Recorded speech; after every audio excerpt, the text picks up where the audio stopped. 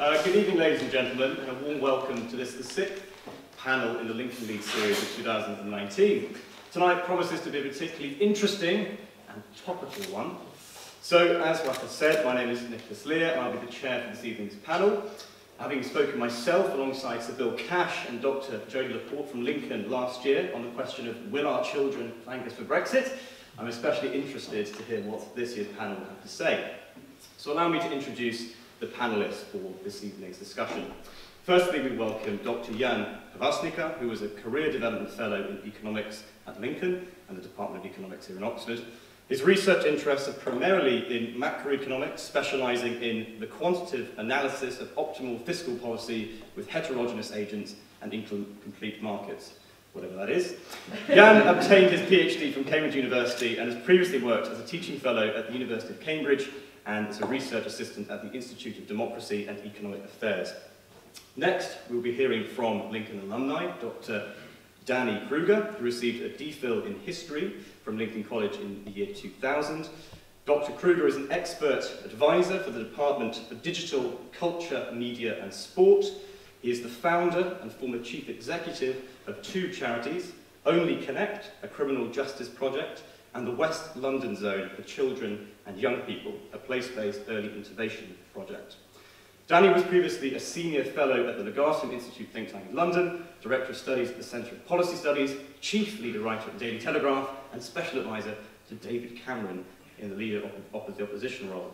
So he's no stranger to politics. Finally, last but by no means least, we welcome MCR student Asher Berkowitz-Werner, who is reading for an MPhil in economics. His research focuses on evaluations of public policy in the broad sense of the term, before studying at Oxford, Asher led Manchester University's Challenging Orthodoxy Society during his undergraduate studies.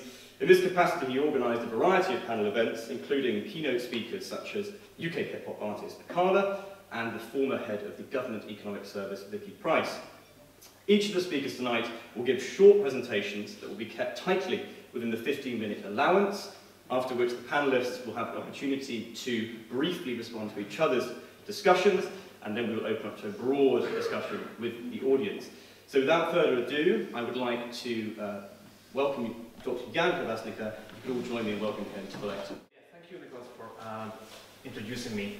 So as was mentioned, I don't do research on Brexit. I'm just a macroeconomist, but as pretty much any economist living in the UK, I'm very keen and interested in Brexit. So when I was offered the opportunity to share some of my opinions and comments on the possible economic benefits, I, I was quite delighted to accept. So the outline of my talk, well, if this actually worked. is it, okay, this is... The arrows. That is what I'm pressing. Arrow. okay. I'm pressing arrow down. Or is this from the right No, it doesn't work. Okay, should work my own laptop, I guess. Oh, there we go. Okay, so the outline of my talk. So, so first of all, as a macroeconomist, I could not resist but talk a little bit about the big picture impact of Brexit on the economy. By that I mean GDP. And after that, I'm going to spend a little bit of time talking about some potential more particular benefits of Brexit.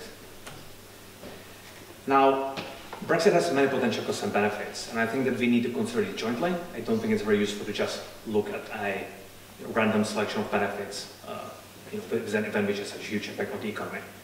Now, why GDP? Well, the impact on GDP is of course a very imperfect measure of what helps the economy, but it is a useful measure. Why is it useful? Primarily because resources are limited. You know, despite what Boris Johnson seems to think, we can't eat a cake and have it at the same time. Now, we can roughly think of GDP as size of the cake to be divided between the population. And higher GDP means more resources, tax revenues, and other things equal, higher achievable social welfare. Now, the bad news is that the overwhelming majority of economists agree that Brexit has already lowered GDP relative to staying in the, in the EU, and it will lead to persistently lower GDP in the future. For example, Bank of England, IMF, OECD, uh, but of course there are, some, there are some exceptions. Now, what are the main causes of the negative impact? Chiefly, it's uncertainty, which is a huge negative impact on, on business investment in particular. Then it's the lower degree of openness in terms of trade and immigration, which has been empirically shown to lead to lower productivity, which then affects GDP negatively in the long run, above and over the impact of uh, of the short-term reduction in, uh, in available labor supply. Now, we have no idea what's going to happen. Less than six weeks before the current Brexit date, Goldman Sachs actually puts the chance of some deal being achieved at 50%, no deal 15%, and no Brexit at all at 35%. So it's a huge range of outcomes. So when we talk about Brexit, we really need to consider all sorts of different scenarios. Uh, Bank of England recently published a detailed analysis of various Brexit scenarios, and for a variety of reasons, I think it's the best one which is available. And I'm happy to talk about that more in the Q&A. And I'm going to use that as the, as the baseline of my, of my talk. So the, so the Bank of England has considered four different scenarios. There can either be a deal and followed by a close economic partnership or a less close economic partnership, or there can be a no-deal Brexit, which can be either disruptive and, or, or disorderly. And the Bank of England then calculated the, the impact on GDP relative to the pre-referendum forecast. Uh, well, first of all, Brexit already had a negative impact on GDP, which was 1% lower relative to the pre-referendum forecast. That's according to Bank of England forecast. It could actually be worse. The UBS thinks it's 2.1%, uh, IMF thinks uh, it's 1.7%, and I'm, again, more than happy to go into more details in the Q&A. Uh, the main reason for the discrepancy seems to be that the world economy as a whole did a lot better after the Brexit vote than we previously expected, which created a huge positive demand shock for the, for the UK economy. Uh, so really, if the Brexit did not happen, we probably would have done even, even better. Okay, so what's the impact on GDP according to Bank of England? Well, if there's a deal, then five years after Brexit, the impact is expected to be between minus 1.75 to minus 3.75% of GDP. If there is no deal, the negative impact is quite severe, minus 7.75 to minus 3.5 percentage points. Uh, the effect on unemployment and inflation actually seems to be fairly negligible if there is a deal, but if there is no deal, and again, there's a non-negligible chance of that, then the Bank of England uh, predicts quite a huge spike in unemployment. Uh, in the disorder scenario, up to 1.3 million people could lose job over the next uh, two years in the Bank of England. Now, that was the short-term impact of Brexit over the next five years. What about the long, long-term impact? So, so this plot summarizes a range of predictions of the economic impact of Brexit on GDP by 2030. Uh, well, unfortunately, even over the long run, once we get over the transition cost, it seems that pretty much everybody thinks that Brexit will harm the GDP quite significantly in the long run. The only exception is economists for free trade.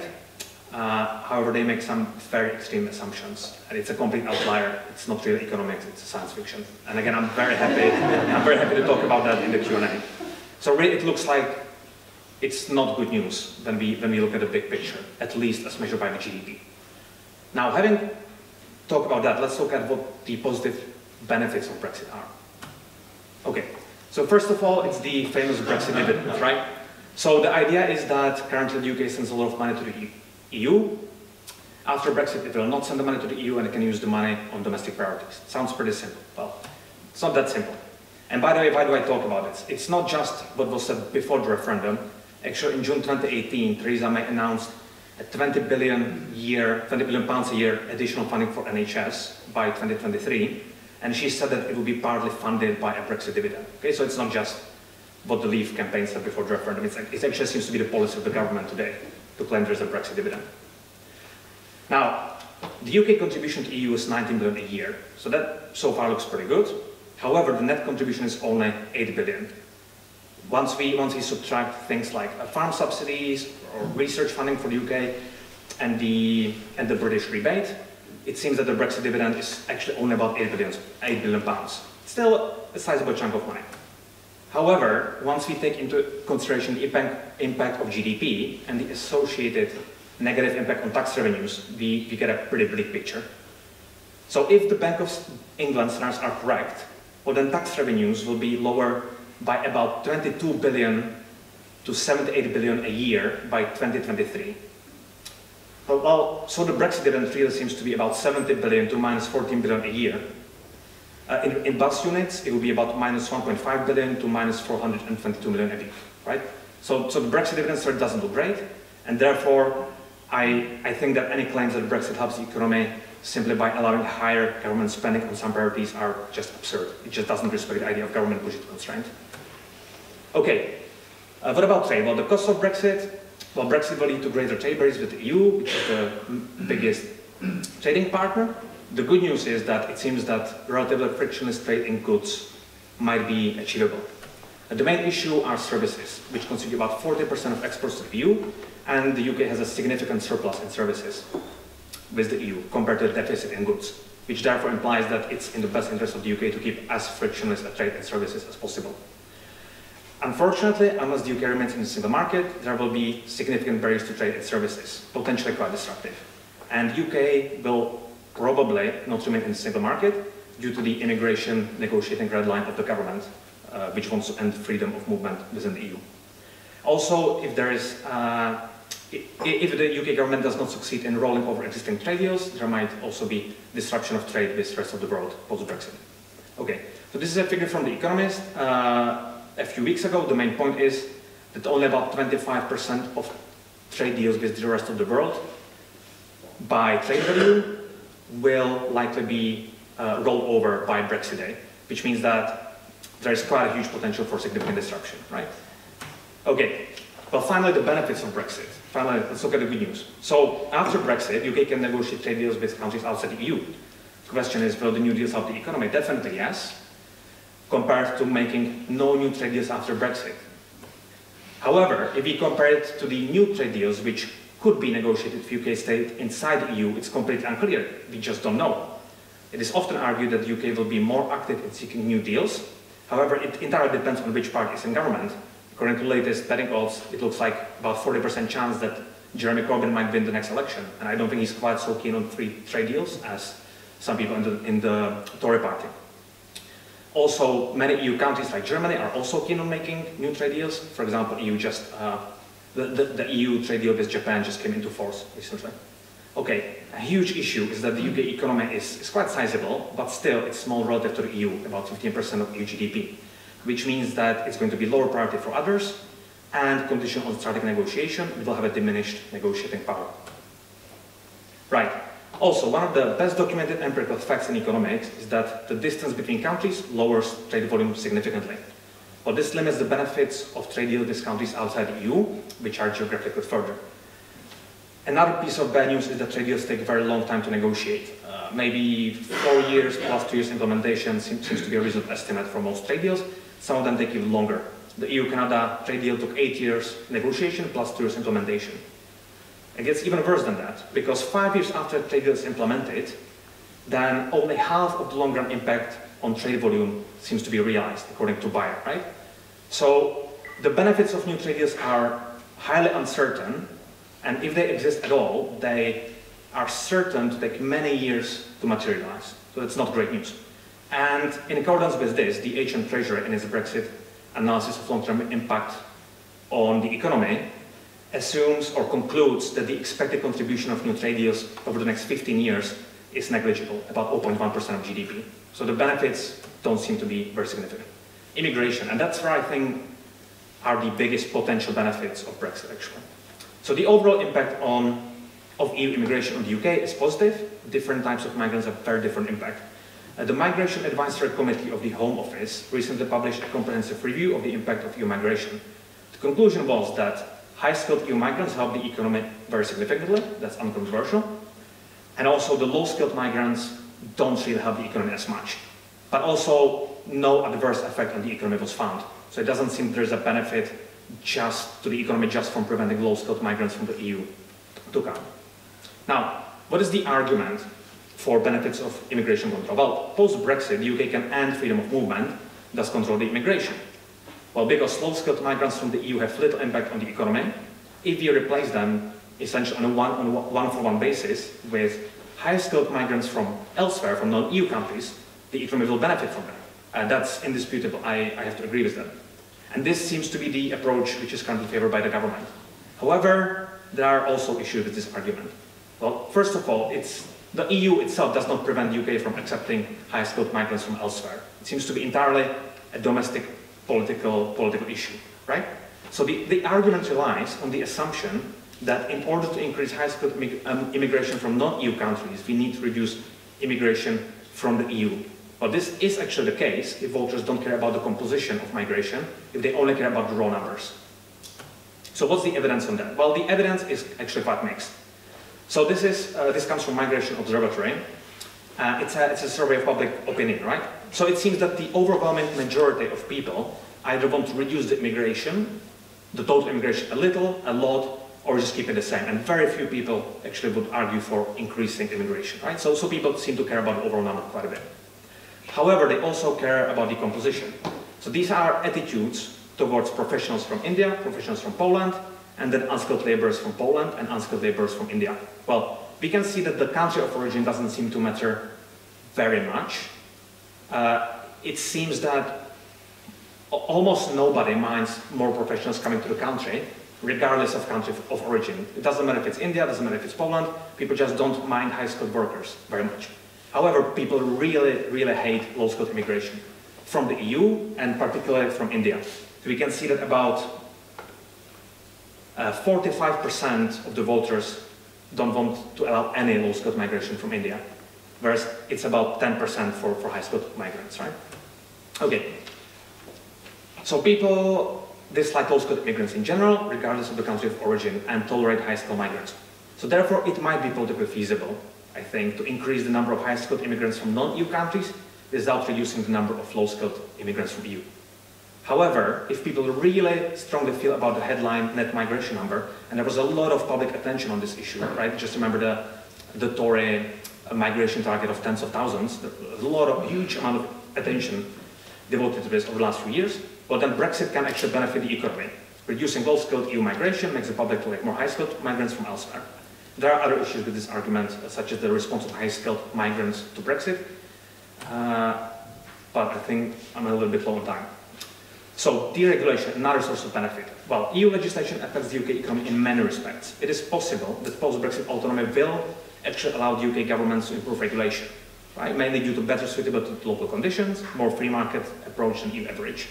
And the benefits are estimated to be about 0.7 to 1.3% of GDP in the long run by open Europe. So that's a fairly sizable chunk of GDP. Uh, what are the issues? Well, first of all, the UK already agreed to the vast majority of EU legislation before referendum. So, so it's not clear that EU legislation is that harmful to the UK economy, right? Also, the UK government is already committed to keeping much of the regulations, mainly in terms of workers' rights and environment protection. Now, and this I think is the biggest issue of all, is that UK government will have more legislative autonomy, therefore more freedom to help the economy, but also to harm the economy. I think that if you're you know, Jacob Rees-Mogg, then you should be really worried about what Jeremy Corbyn might do to the economy. And actually ha having his hands tied by EU regulation might actually be a good thing for you, even if you really strongly believe in Brexit. Okay, uh, more generally, the benefits of Brexit depend uh, on positive outcomes of the UK political process. Again, I think this is very, very uncertain. Uh, yeah, I'll leave it at that. Uh, the HM Treasury assumes Probably for, for these reasons, that long-term benefits of post-Brexit deregulation might be around 0.1% of GDP, which is also not very much. All right, conclusion. Well, I have to say that Brexit can help the economy in some ways. That's indisputable. However, there are significant costs. From my point of view, the main cost is lower GDP and tax revenues, the so-called negative Brexit dividend. It's not something which we expect to happen. It already happens, and pretty much every economist thinks that it will continue to happen in the future. Right. Issue is that the benefits of Brexit are contingent on good evidence-based policymaking in, in post-Brexit UK. I think that the, yeah, that this assumption is fairly optimistic, right? Because if the referendum campaign demonstrates anything, it means that facts seem to matter a lot less than, than emotion and identity politics, or at least relatively less than they used to in the past. So I'm actually quite worried about the quality of policymaking in the UK in the future. But I could be wrong. I'm an economist, I'm not a political scientist. Now, independent immigration policy can help the economy potentially very significant in the long run if the net migration figure is a real political constraint. So from my point of view, this is the potential greatest economic benefit of Brexit, the, the migration control. But that really relies on assumptions about the, the nature of political constraints. So again, I'm not really sure that's the case, but I think that might possibly be the biggest Brexit benefit. Now, finally, the longer uncertainty is absolutely extreme, right? Huge, huge variance of possible outcomes 10, 20 years from now. Well, for that reason, it is possible that the net impact on the UK economy will actually be positive in the very long run, just due to the huge variance, despite the negative central prediction of most economists. However, you know, the way uncertainty works, we don't just get to arbitrarily pick the positive outcomes, right? There is a certain amount of symmetry. So if there's variance, there can be really good outcomes, but there can also be, also be really disastrous outcomes. And yeah, for, for this reason, Brexit can be better than we were expecting, but it can also be a lot worse. Right, I did not quite keep track of time, but I think I'm, I'm yeah, so yeah, thank you. Thanks for having me. I'm, I'm delighted to be here, uh, back at Lincoln after 20 years. Uh, I'm not an economist, as you heard, I'm a historian, and uh, I found that absolutely fascinating and really helpful, and uh, I'll respond to some of it uh, when we get on to the discussion. But um, as a non-economist, I just wanted to refer, and as a historian, I just wanted to refer quickly to another episode um, in our history when a uh, country left a large uh, political and trading bloc, and uh, and many of the same arguments were made then, which was what we might call a exit, when America left the British Empire, and they did so in the face of a lot of predictions of economic disaster for the uh, for the colonies, and they did it anyway. Uh, four out of the five greatest cities in America had a uh, very strong uh, trade relationship with the with the UK, and in fact knew that they would suffer and predicted there was great predictions of uh, of, of, economic catastrophe in those cities, and uh, and they decided to do it, even those cities, and and it turned out that the predictions were wrong, and as we know, America flourished, not perhaps immediately. There was disruption. Uh, there's even more disastrous. There's more stockpiling, uh, but it, they did it anyway. And the argument I'm making is that these considerations are not all economic, and I appreciate that we're here to discuss the economic implications of Brexit, but I do want to just raise the, uh, your sights to a wider consideration and the thought that uh, GDP is not the sole uh, consideration when making great political moves like we have. So um, but I'm not going to get into, I'm trying, I'm going try not to make a big sort of for and against argument about Brexit itself. I'm sure you'll, you've done that and, uh, and, and are largely sick of it. But I do want to talk a bit about the possibilities that Brexit opens for us, and uh, which includes economic ones. And I'm not going to talk about the, the, the opportunities, the upside of Brexit. You've heard some of the arguments made there. Didn't hear about being shackled to a shrinking block uh, of world trade and the opportunity to resume our peculiar historic position uh, in the world as being both uh, in but not of Europe and both local and global. I want to make the case that in fact there is a political opportunity here to reset our economic model and our social model, which is what I, why I think most people voted, uh, the, you know, the small majority that voted for Brexit did so. What I think we have the opportunity to do and to see is the resurgence or the, the, the reappearance of a communitarian social and political philosophy in our country, which is both historic but also particularly suited to the moment and the challenges of our times. And what I'd like to see, and what I'd like more discussion of, is less about global Britain, though I'm all for that, and more about local Britain, and how exiting the EU can open the possibility for a more decentralised, more uh, a, more, a more local country.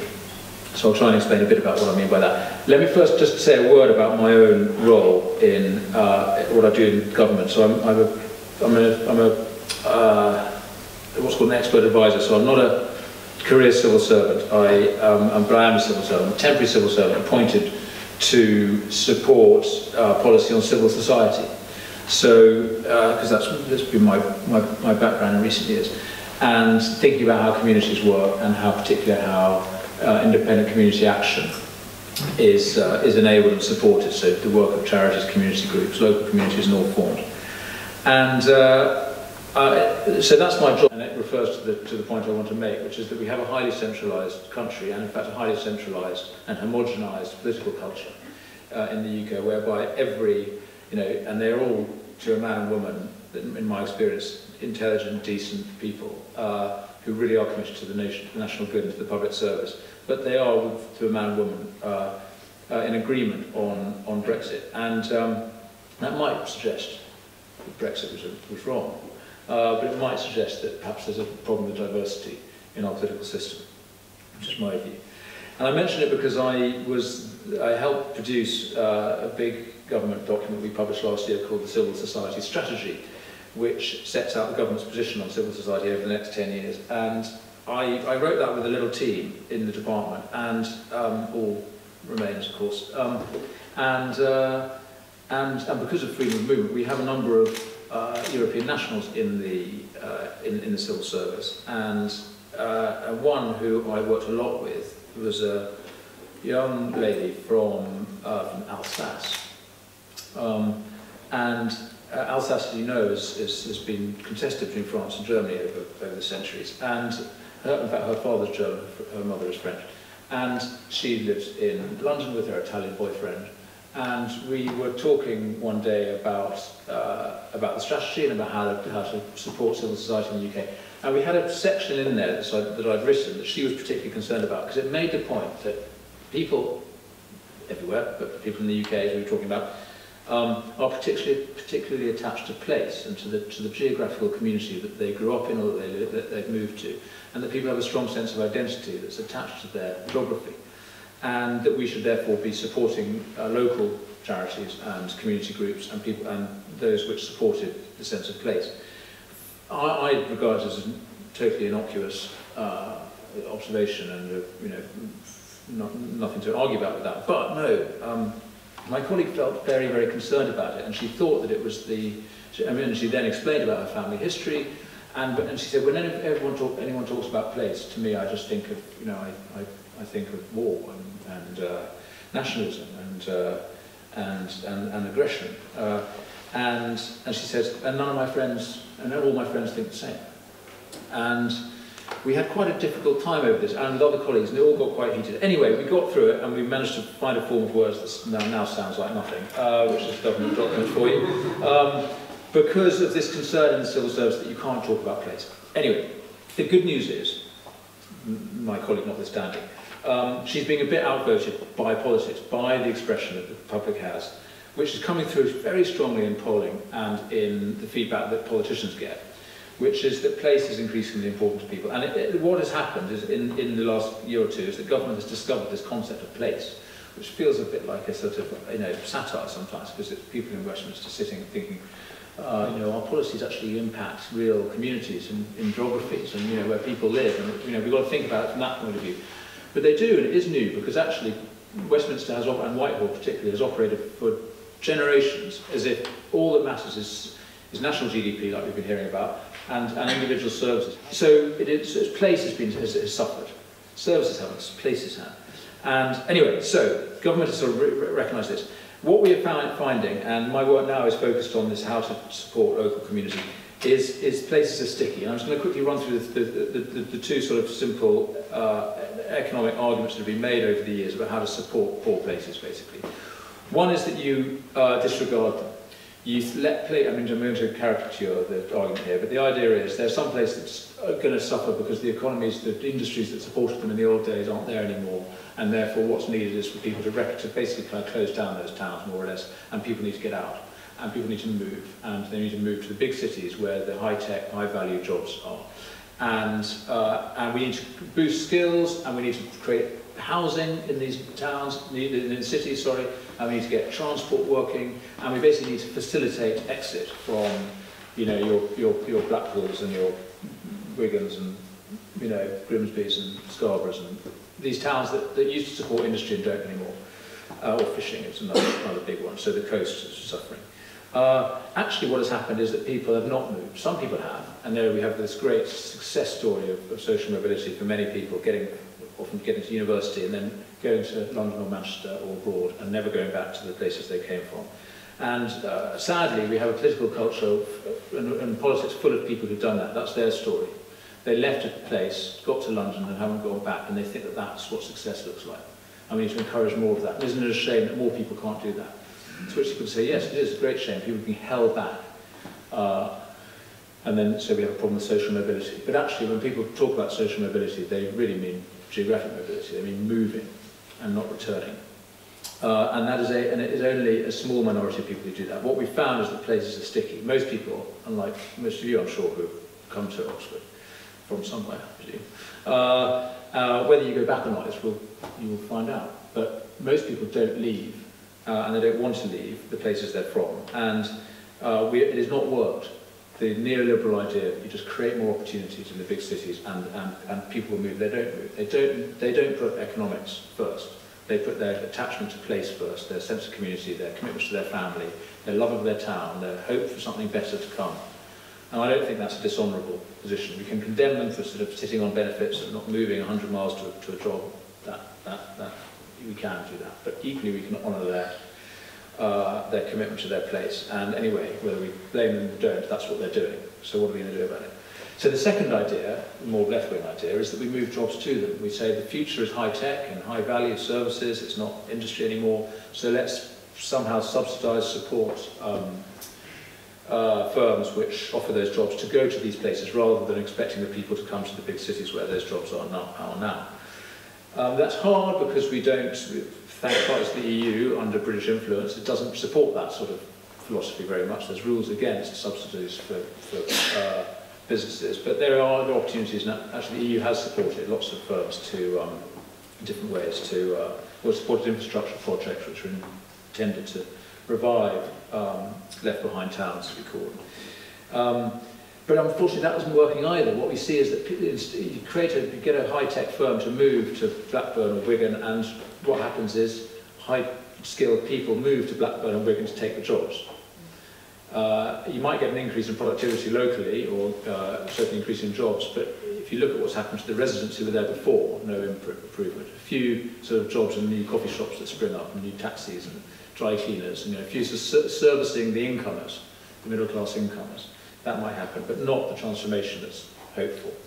So neither incentivizing or requiring people to move out of these places or getting them or getting jobs there uh, seems to be cutting it. I'm going to run to the end because I want to make a point about Brexit, which is that what do we need, and I think, is an is a opportunity for social renewal, for a new political uh, and economic philosophy which recognises the foundations of growth and productivity, long-term national GDP, the foundations of that is local, and it consists in people who are strong in the virtues of, of enterprise and employment and self-reliance, and what that requires is a strong civil society, coming back to why I do the job I do. It requires families and communities to be strong. We need infrastructure in places. That's why I'm so distressed about the cuts to local government spending. I'd rather have seen cuts to health or welfare and see local government boosted so that it can invest in the, in the libraries, the leisure, the culture, uh, the arts, sports, all the forms of, of association that bring people together and give them the personal skills, the sense of resilience, the commitment to each other and to a neighbourhood that actually create the strong communities that then you can have, and then that creates thriving places that people want to live and work and invest in, and you create a thriving town. It's not an economic story, it's a social one. And, uh, and what I'm hoping, and we, we are seeing indications of it, and we're working on it, um, there you know, all these different arguments, the argument you just heard very strong in the Treasury. Uh, other bits of government, including mine, are making different arguments about how post-Brexit, there is a Brexit dividend in the sense that we're no longer going to be uh, uh, sending money to Brussels, which it then spends in the UK. I mean, there might, it might indeed be net less, but we'll have control over it. So what is the design and the shape of that funding going to be? There's some billions of pounds a year that previously the EU spent, now the UK will be spending it. We could spend it worse, certainly could, um, but we could spend it a lot better, and I would like us to be spending it in the way I've described, investing in local, in civic infrastructure. And I will end with this observation, which is that we are seeing, and uh, don't know, discussion will touch on this, but obviously politics in the last week has changed significantly with this new uh, group formed of Labour and, and Conservative centrists. We are seeing three new part, three there are three now groups. One, what we've got is a uh, potentially the emergence of the state party, a party about equality, doing everything from the centre, but in, in a much more redistributive way. That's, that's, that will be the evolution of the, of the Corbynite Labour Party, focused on equality. You see a new uh, party focused on freedom, focused on individual rights uh, and opportunity, uh, which would be very internationalist, quite globalist, very, very pro-EU obviously, pro-free trade. That's this new centrist party, really focused on individual freedom uh, and internationalism. And then you have this third party, which is about society, which is about the organic connections between people in places. Uh, it's, about, it's about tradition, but it's also about diversity and pluralism. It's about the way that different places can have different shape and identity. And it's about the human relationships that make life worth living and the real foundation for economic growth. And that's the political movement that I think uh, we could see coming out of Brexit, and I hope it'll win and, and, and, and us. That's enough. Thank you very much. The mayor of Chicago, an ex-Obama uh, era chief of staff, said that you never want a serious crisis to go to waste. This crisis, the financial crisis of 2008, provides the opportunity for us to do things that you could not do before. Now, regardless of what you think about Brexit, whether you think it's as bad as the 2008 financial crisis, you should not deny that it provides political opportunity to change things. Now imagine, just imagine that you had the ear of a high-flying government expert advisor, and knowing that the next five or ten years of government will shape our economy, our country, in ways that no government has been able to in over a generation. What reforms would you ask for? If I were in a room filled with the next generation of world leaders, high-flying civil servants, business people and scientists who will create the technology that will shape what is possible, I don't think I'd waste that opportunity on anything other than inspiring these people with ideas on how to change our world for the better. Now, if you were in conversation with such people, you've that opportunity only to air grievance, for me, would be a waste of time. So there are two espoused economic benefits of leaving the European Union. First is the possibility of trade deals and lower tariffs with our trading partners throughout the world. Second is the so-called cutting of Brussels red tape, creating a fast-paced business environment where businesses can innovate, unimpeded by regulation, that can only trail behind as technology rapidly changes the society we live in. The first of these, in my eyes, is beyond the scope of this talk, which is primarily on domestic economic policy. So I shall focus on the second, which is deregulation. I shall say now that deregulation is not all bad. Consumer protections, the assurances that your products are safe to use, are good things for you and for the economy at large. But there are real costs to real people, to you and me. Now, what would you rather wear? a hospital gown or a pair of your own pyjamas. The hospital gown is an awful metaphor I've come up for EU regulation. It's a one-size-fits-all approach to regulation. It may well not achieve its singular purpose and is liked only by a select few and no one really knows who designed it. for every one pound of cost that British regulation inflicts, it brings almost £2.50 worth of benefit, whilst EU regulation barely breaks even. There are some great areas where regulation is best made on a regional level. I think any economist in the room knows about the tragedy of the commons or the prisoner's dilemma, where inability to cooperate causes everyone to be worse off. And in those areas, it is, it is indeed best to cooperate on a, on a regional level. Are fantastic opportunities for the EU to do great stuff. There are two areas, in fact, that I think are, you know, that we should all know about, um, where the actions of each individual state spill over international borders so easily that, that in, international cooperation must be a no-brainer in these areas. Uh, there's climate change and the fish in our ocean are the two examples I shall bring up. Now, good European or global regulation on these matters, I think, is celebrated by almost anyone in this room.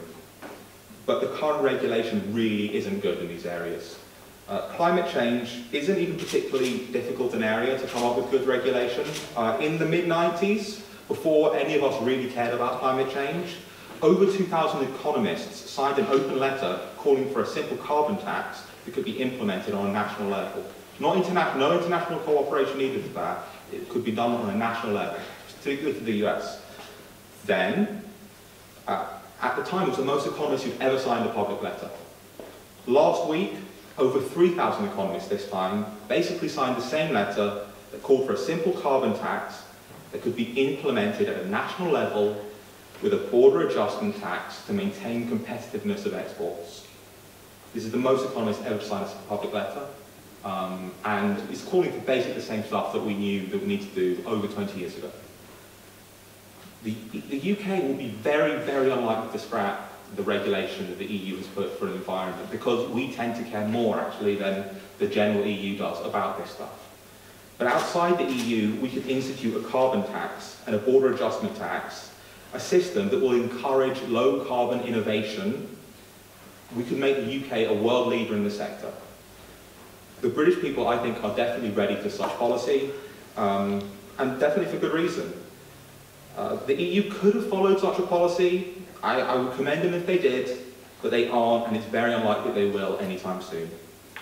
And on our fisheries, uh, a few months ago, British trawlers legally trounced French government restrictions on mussel and clam fishing, whilst uh, the French trawlers could not go out because the French law barred them from doing so. The regulation on fisheries was meant to maintain fish stocks throughout the EU, throughout the EU, but in fact has really failed to do that at all. There's been many instances of mismanagement. And fish don't respect national borders. I will certainly accept that. but look at Norway, where they, they also have fish that don't respect their borders, and they felt much happier to have a fishery system. And they're very dependent on fish for their economy. Fish and oil, that's about it. Um, and but, but, and they have found that you know, the, the best management practice for them to create sustainable fish, uh, fishing agriculture was not with the EU and are actually quite rushed out regulation on fisheries. And now from that onto areas that the EU has just been you know, pretty bad on. Um, and if your government, you see, does not change these things, I tell you they have certainly failed you on this opportunity. Um, they've squandered the chance of a lifetime. The clinical trials directive is the first example I shall give you. Um, it's being replaced the end of this year probably, um, but there's been so many years of delay, who, who even knows, and it's still not going to be perfect, this replacement. It creates hurdle after hurdle for doing life-saving medical research, blocking research into secondary uses, often on, on already proven safe medicines. They just want to find out, does it help with something else? Pretty impossible to do that, or at least it has been. Um, people's lives are certainly cut short by this. Uh, and we have a thriving biomedical sector. Many of you work within it, will work within it, and have research that contributes to it. Uh, Switzerland is one of the go-to places to conduct medical trials in Europe. They're not in the EU. Um, that's, that, that's not entirely a coincidence. Of course, they already have a knowledge base, but they've done pretty well with their regulatory environment outside there's a good argument to say that, well, we're going to have to export to the EU. We're going to have to do trials onto their system anyway. Yes, but we have to export to America too. Medicines aren't hard to ship across the Atlantic Ocean. Um, and why don't we could just say, well, just adopt FDA requirements or just choose whoever's better. America's got a giant healthcare market, it's fantastic. Um, why don't the FDA, why don't all the American companies tell, demand that the FDA um, change this prescriptive EU thing, say follow one benchmark for everything. Why? Because it's very prescriptive. And you see America has faster innovation in these areas and, and lead a lot of the time. Um, having a more relaxed regulatory environment will help research in this area. Common agricultural policy is the other one, or, or CAP as it's called, and it's about 40% of the EU budget. Um, and on the note of whether we could have a dividend, well, we, we wouldn't have to spend that money on CAP. Um, it pays farmers lump sums, tells farmers not to make too much um, so that you don't have to pay too little for their food. That, um, and sometimes it subsidises their costs with your money and pays farmers to manage the countryside in, a, an environmentally non-damaging way. But we have mechanisms that tell producers when to produce more or less. They're called the market and they're a hell of a lot better than a few bureaucrats. There are issues of food security that it covers, but this would be better, um, this would be better managed under a government subsidized insurance system. Uh, it would be far less distortionary than CAP and it would not lead to mountains of food going rotting as currently happens under the Common Agricultural Policy. And then on the environment, if a landowner has too many trees in a field, oh sorry, you can't, you can't get money for leaving that as a, as a good field of, of environment. It's just too biodiverse, too many trees, too much wildlife. Um, that seems like a policy that's not really directed at helping our environment. But, you know, well, the National Farmers Union will demand this continuation of subsidy payments, and they'll continue to deny you cheap, high-quality food from abroad, demanding high tariffs. Uh, let me give you an example of the kind of scaremongering the NFU put on. Um, does anyone here eat pre-washed salad bags? Bags of pre-washed salad. You don't have to wash them in a spinner. Yeah? They're pretty great. I like them. Very convenient. Um, anyone here had food poisoning? Not, probably not from the salad bags. I can almost assure you not from salad bags. But yeah, you've had food poisoning. Probably from dodgy chicken. Um, you know about 14% of EU chickens have salmonella. 2% of American chickens have salmonella in them. Um, why is that? It's because they clean their chickens the exact same way that we clean our salads. Um, with a little bit of chlorine, which by the way, we like tell basically every developing country to put a heck of a lot of in their water to keep it clean too. Um, so they call it chlorinated chicken. I call it American innovation delivering affordable, safe food. But the NFU will convince you that this will kill you. Um, even Michael Gove, Minister for the Environment, think, thought this was unacceptable as part of a trade deal with the USA, um, with the EU, because the NFU got to him. They're probably the most powerful lobby in this country. Um, they unite opposition and government. You see them every year wearing these ridiculous lapel pins with pieces of wheat on them. Uh, they call it uh, Back British Farming Day, or what we may want to call Benefits for Landowning Class Day, because that's what it is. and I'll, I'll basically ending on that cautionary tale. Um, we can scrap bad regulation and introduce good regulation. More comprehensive climate policy is, is, I think, a great example, but only if we shout louder than the likes of the NFU. Don't let a good crisis go to waste. Scrap the common agricultural policy, create a faster and more free environment for drug discovery, and create the most forward-thinking climate policy in the world backed by almost every reputable economist. But only if we demand the best from our politicians. Thank you. Thank you very much, everyone, especially Ash at the end there. Um, I'll take the chair. Um, so we heard there about the economic considerations, the political opportunities, and a broad look to the future, particularly with regards to the environment. Um, I'd like you now to have the opportunity, if you'd like, to respond to each other's presentations. Um, if not, if you have no comments, then we can move straight on to uh, the audience questions. I'm conscious of time. Uh, I would actually like to. Sure. Uh, yeah, so I think that one of the issues with Danny's argument, I think, is that there is obviously a great benefit to attracting more attention of the central government to regions, right? So I think everybody can agree that there are a lot of places that are left behind and struggle economically, and that Brexit was in some way a call for help. So I think that, that, that's fundamentally a good thing, attracting attention to regions. However, I don't think once we heard that call for help, it's actually going to help anyone to go through with the Brexit, because if we stay in the EU, we're just going to have more tax revenues to spend in regions, right? Just the inescapable arithmetic of the government budget constraints. You have more tax revenues, therefore you can support regions more. Uh, that's, that's, that's my only comment. Yeah.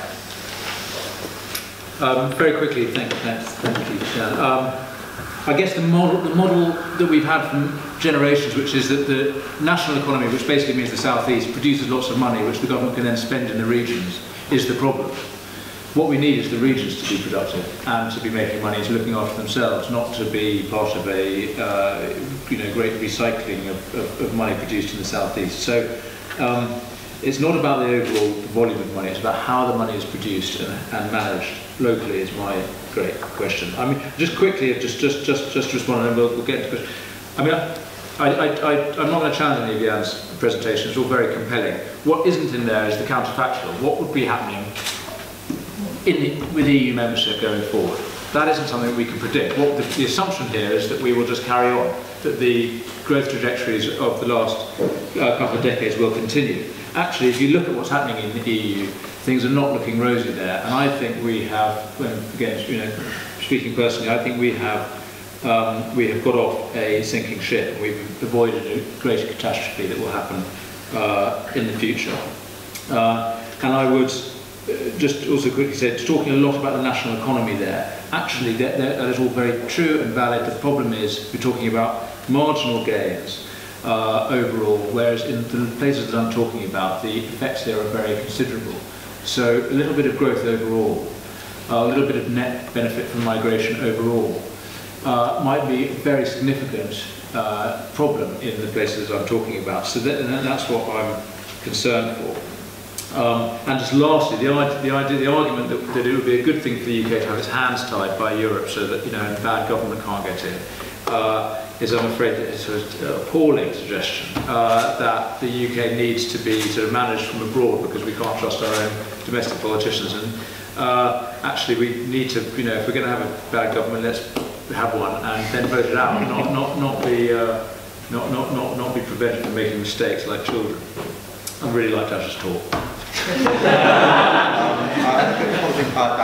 uh, I specifically not really tried to talk about the counterfactual. I think it's probably too late for any of us to change the mind of Theresa May and the government um, and, and change the What we can do is we can demand from our politicians over the next five and ten years when, when you know, when there'll be there will be negotiations on off if, if we have some kind of interim deal, there'll be a negotiation. If we collapse out, then you know, like all sorts of stuff will happen. Um, if there's so there's likely to be in the in beyond the next two months opportunities for civil society to actually influence the demands on, on the government. And I'm trying to more, more focus on that, on, on let's just take as a given that we're not going to be in the EU. Well, then what kind of country do we want? What kind of economy do we want? Um, and one possible thing is that um, in economics there's a thing called revealed preference, and it's where you take people's actions and you can make a pretty good guess as to, to what they what they actually prefer. People who live, who've moved um, to Oxford, to London, have a revealed preference to prefer perhaps more money to, to their family and their, their, their local kin, let's say. Um, people who live in the countryside, who stayed there, who say, who have stayed in Blackpool for years and years and years, um, probably because they're going to earn almost certainly much less money, um, have a preference for their local kin, for their people. So they are a distinct different group of people who, almost by definition, we will not meet. And we have not met because they have decided, they've chosen against moving away from the kin. I mean, you know, people, and this happens all across the world. I mean, if you have open borders, not everyone will move to America and Europe because they like, you know, and we'll, we will never meet them probably because we just never mention them as a necessity. We self-sort into London and the, the rest. Unless there are any other issues you'd like yeah, to I would just like yes. to respond very shortly to the dying, uh, dying of the hands yeah. right? So it doesn't apply just to UK, it applies to everyone. And there are actually very good reasons for some rules. Uh, for example, uh, rules on state aid, right? It prevents you know, different EU governments from subsidizing their national champions in a sort of you know, race, race to the bottom which is fundamentally damaging for competition, funda fundamentally damaging for consumers. I don't think the UK has got inherently more need for having its hands tied. I just think that there are quite a few EU regulations which I think most economists would think are beneficial in the sense of tying the hands of government. I, I don't think the UK government is worse than many other governments in the EU, such as Hungary, Poland. Yeah. It's definitely not specific to the UK. It just prevents you from making some mistakes. Mm. Okay, well, on that, I think we'd like to open up now to questions from the audience. So if you'd like to raise your hands if you have a particular question, or we go. Right. All, I enjoyed all three presentations. Um, something that struck me about Ash's presentation, which made me think, uh, I really enjoyed and appreciated the productiveness and the constructivity of, of the way you, you were phrasing this. And I love the quotes that you started with, you know, don't get uh, a crisis go to waste. But I think that a lot of what is happening um, with Brexit is people seeing the possibility. And everyone imagines whatever wants out of it. So you imagine climate change and your priorities. You imagined the local government. So everyone wants Brexit to work, to, to work in certain directions, which is fascinating. And it is um, a great, it can be an incredible and productive engine of change. I just, it strikes me that people see very different things. And I wonder how you go about this, because I can imagine you wanting to spend all that dividends that Jan was saying that it was in minus, by the way. but, but you know, I, you can see what I mean. You know, it, seems that there is so much potential, um, that is truly fascinating. And you were really, uh, you, you, did so very eloquently in, in illustrating various ways, and I was really taken. But I am also conscious that I have so many other friends that see different possibilities. So I was wondering, throwing this back at you, uh, you three, if you want, how how you how do you think this this, this immense immense pool of possibility can actually play out in the short term, in the long term. Because until we're here around the table saying like, oh, this could go, and we could solve this problem, it reminded me, you know, when we were talking about uh, this, a bit like when you are in a relationship with someone, and then you think that, well, but this, you know, I actually could get this part of my relationship better. You know, you, can, you see what I mean? And you can keep going off and off and off. Or perhaps you can talk with your partner and try to fix it or try to find a different way. I can see you can always, by yourself, control it and find a better, you know, think of a better position. What is difficult is dialogue and, and getting people that have different priority together. So I was wondering whether you It's a long question. Who'd like to put that first? yeah. yeah, I think, of course, there's a, there's a huge range of possibilities, right? And, and I think the main issue is that we need to consider many of them at the same time and then try to make some sort of, you know, putting some sort of probabilities on different outcomes and then we can make a prediction of what's going to happen. I just, I mean, of course, Brexit has a silver lining. There are many potential huge benefits, there are also many potential costs. And yeah, I mean, I, I could also just talk for half an hour about the potential great outcomes of Brexit, right? But then I can spend another half an hour talking about the, the potential pitfalls. I really think it's it's important to just not focus on particular costs and benefits, but to try to consider you know, the big picture and as many of them uh, at the same time. Also, one, one last point, a lot of people, when they talk about benefits, assume that they are unachievable within the EU. Well, so, that may be true, might, I don't know, to some extent, but usually it's not quite so yeah. Hmm. So economists like to say on the one hand and on the other, which is why Ronald Reagan said, God send me a one-handed economist. So what, what, what you're talking about is, is, politics, and that is what a nation should be involved in, is these disputes. And the problem we've had for a generation is that the realm of dispute, of, of, of possible action, has been very limited, and we've, got, we've had a consensus at the top in politics about, what, about, about maintaining that restriction, and therefore politics has been very limited.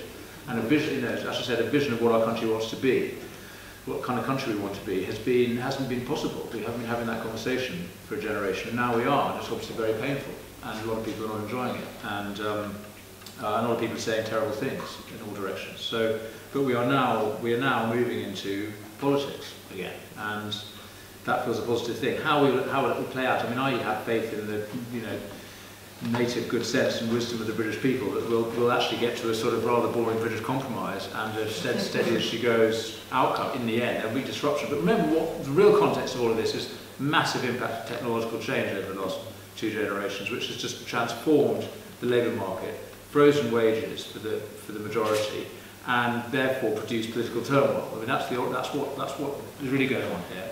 Um, and therefore we're having these questions about what country, kind of country we want to be at last. And I think that is a wholly positive thing, and I welcome the radicalism of Corbyn, and I'd like to see a complementary radicalism on the right. And then we can have, through parliamentary democracy, we hope, if we can maintain it, uh, an effective, uh, you know, dialectical process that leads to you know, the next generation being okay.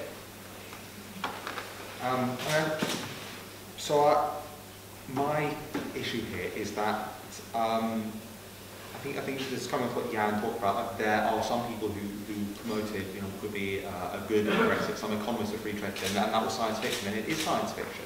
Um, the thing is, I think we need more science fiction. Not all good science fiction, not all science fiction predicting like, you know, like, you know, these great Greenlands, but I think we need, I think we need now for a lot of people who are very pro-Remain to come in and say, okay, what do I want now? How do we come around and have this compromise? Otherwise, it's just going to be um, Brexit delivered only by the Brexit by the Brexiteers, and um, and, I, I, and and that will just lead to further resentment. And I think if we have Brexit delivered for the country by the country, so I think we need to have these discussions, and I think we need a little bit of science fiction here and there.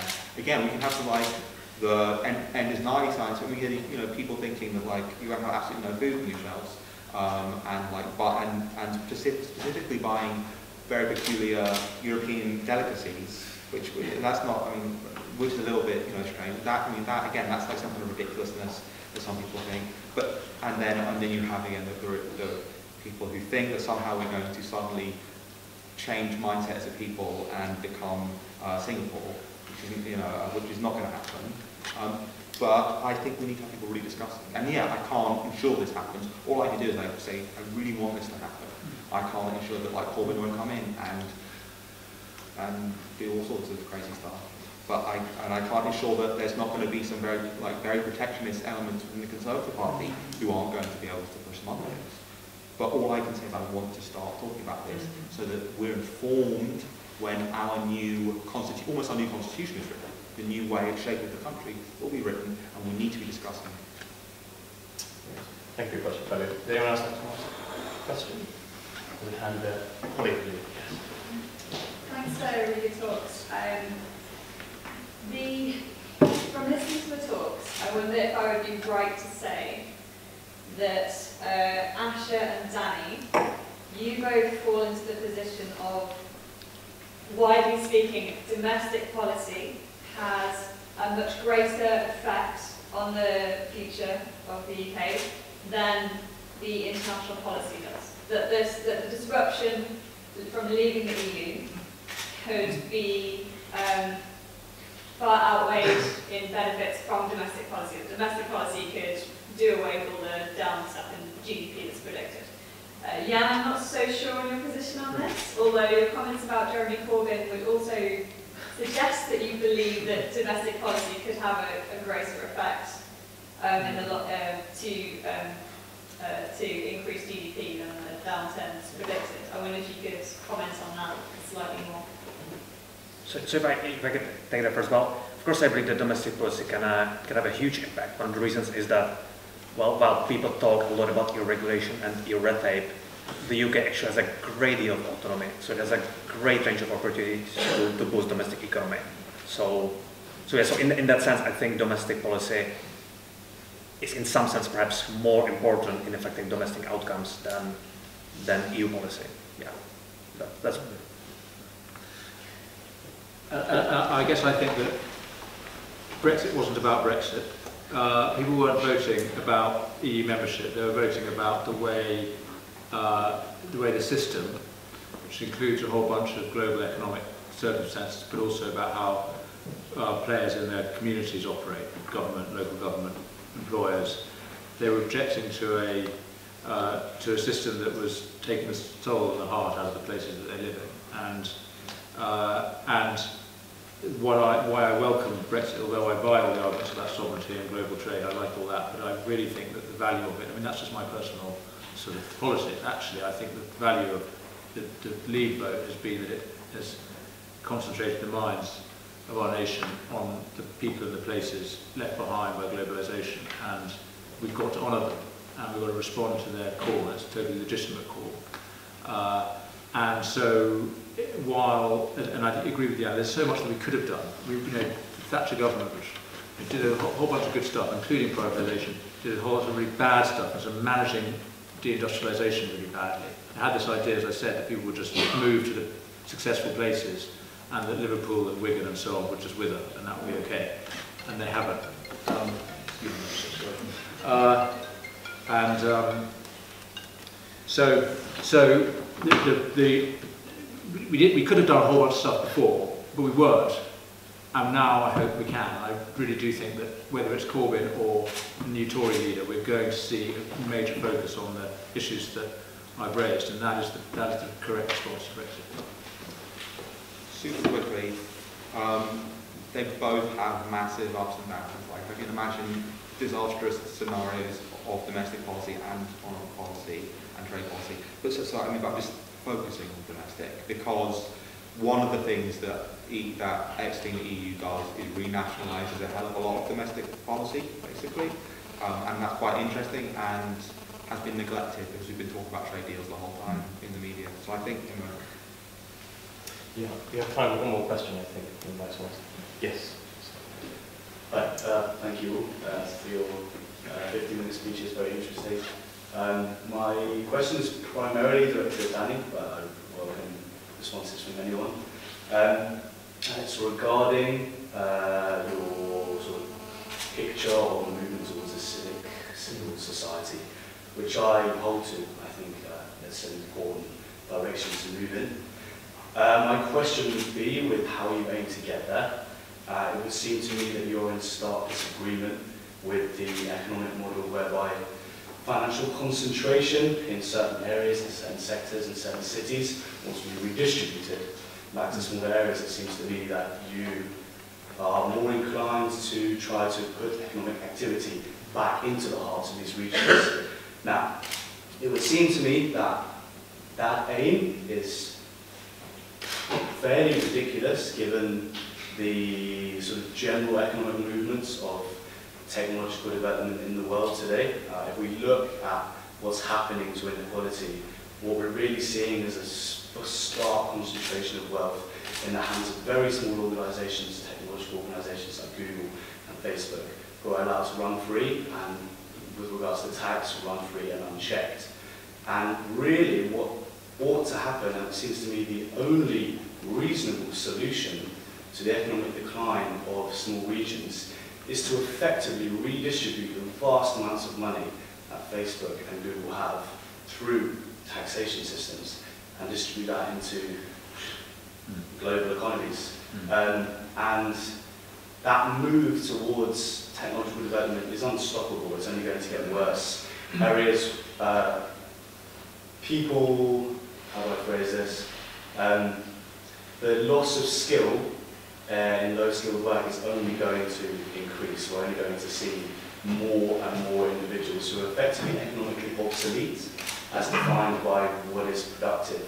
And as that increases, there really doesn't seem to me to be any solution other than large economic unions, for example the EU, to work together to build policy that actually checks Facebook, Google, and is able to then redistribute finances sufficiently. Question. All right, so, so ignoring your last point in favour of the EU, uh, uh, um, thank you for that. I mean, so as it happens, the department that I work for is the dig digital department and the culture department. So we look after both digital policy, but also the stuff I've been talking about, about local communities, so libraries and, you know, art centres are also under the same roof as, as Facebook and Google. It's very interesting the way the distribution of government has worked out. And, and as you can imagine, there's two halves of our department who have an interesting relationship. Um, but I think the answer is in, the is, is in that relationship. I'm just conscious of the...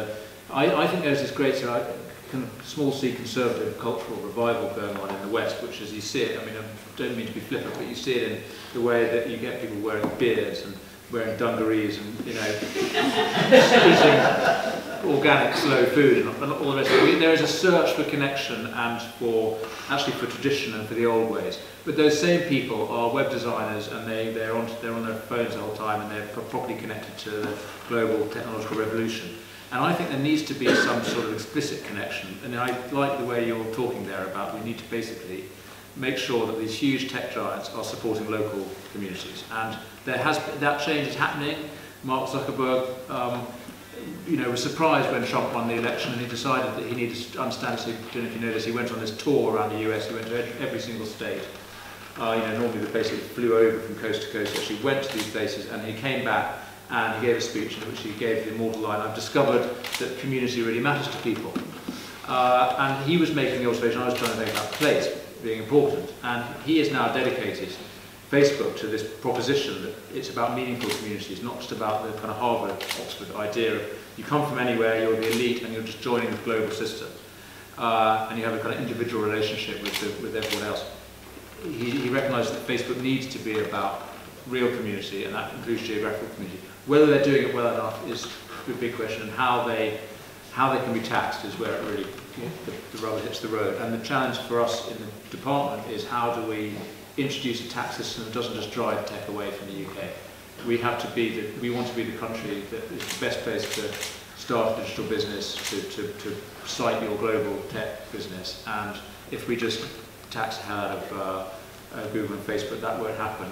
Um, and even if the EU does the same, does it, well, that's the end of Europe. So the, the answer is some sort of global agreement. I think the answer is a lot about culture and the values that people going into tech have. And that's sort of, you're making the point, most people working for these firms are decent people who want to serve, serve the world, not to serve the shareholders. Uh, so cultural change will happen, and you know we could get to. We need politicians to, to be making these arguments. I'm not giving you a policy answer, but I think culturally we're we're and these kind of conversations and the sort of political movement that I'm describing, I think, is the way to get. it. You want these firms to think about this stuff, not just about the global cyber community, which is what they were thinking about 10 years ago, but thinking about the local, real community human beings. Yeah, well, yeah, can I respond to that? Yeah, well, just just Very one point. If, yeah, if, if you wanna if you wanna task international giants like Google or Facebook, it's a lot easier if you do it on a uniform level with, within a bigger block like the EU. That, that's just my one point. Uh, otherwise, I agree with Uh, what we, we have started with, like in the UK, we have experiment, we're experimenting with starting tax on where the digital services are delivered. I think that's a, a great move. Um, uh, I, also say that smaller countries, I mean, um, smaller countries tend to be wealthier, um, so maybe the move to a smaller, this smaller system can make maybe for, for better regulation in these matters. Um, and I don't think we're having, we're going to have this kind of massive concentration on a few tech companies that's not going to be a lot of tax.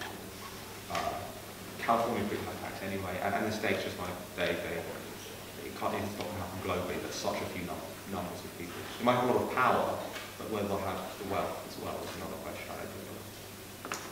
Well, that, I'd like to ask you to join me in thanking uh, all our panelists